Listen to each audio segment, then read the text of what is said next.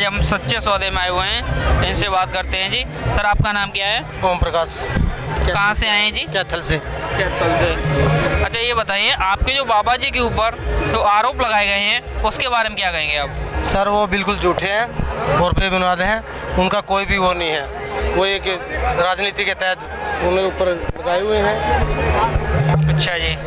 जो आपके यहाँ पे 135 मतलब भलाई के कार्य कराए जाते हैं क्या आप भी करते हैं उनको? जी बिल्कुल।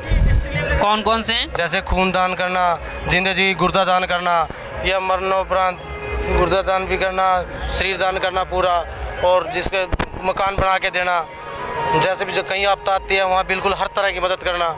जैसे कि भूकंप आ जाता है जल पानी की बाढ़ आ जाती है सूखा पड़ जाता है हर तरह की मदद करते हैं। किसी को भूखे को भी खाना खिलाते हैं जहाँ भी हो हमारी ज़रूरत जैसे गिरनेस फोर्स के मेंबर हैं या उससे जुड़े हुए हैं जैसे भी तो मान लो उनसे जो भी जहाँ भी किसी की ज़रूरत पड़ती है हम वहाँ पर पहुँच जाते हैं। जैसे आप कह रहे थे खूनदान करते हैं खूनदान आपने किया है क्या? जी किया है। कितने बार?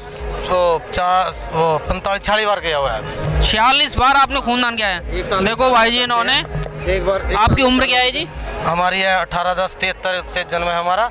आपसे सबसे आप लगा लो तो, तो, लगभग बयालीस तैतालीस साल की इनकी भाई जी इनकी सर जी की उम्र है। 48 साल और बनती। उतने में ये छियालीस बार ब्लड डोनेट कर चुके हैं जी। बहुत बहुत धन्यवाद जी आपका।